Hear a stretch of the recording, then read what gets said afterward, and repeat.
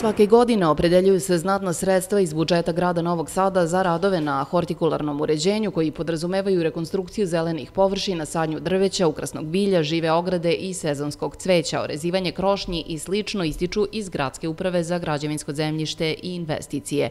Uređenje gradskog jezgra je bila jedna od važnijih investicija u prethodnoj godini gde je posebna pažnja posvećena ozelenjavanju najposećenijeg dela našeg grada. Na ovom lokalitetu su, pored podizanja novog travnatog busena i sanje drvorednih stabala, javora, formirane žbunaste i cvetne vrste oko nove fontane na pozorišnom trgu, na prostoru ispred Srpskog narodnog pozorišta i oko Apollo centra. Na novom naselju je parterno uređenje hrama prenosa moštiju Svedog Save upotpunjeno novim zelenilom. Prostor oko objekta mesne zajednice Sajlovo, pored uređenih slobodnih površina i pešačkih staza, također je vizualno obogaćen zelenim površinama. U okviru uređenja površina javne namene na mikrolokacijama, klisa, satelit, omladinski pokret, begeč, salajka i kisač, pored toga što je postojeća vegetacija zadržana i integrisana u novo projektovana rešenja javni prostori zasađeni su novim zelenilom na ukupnoj površini od preko 4000 kvadrata.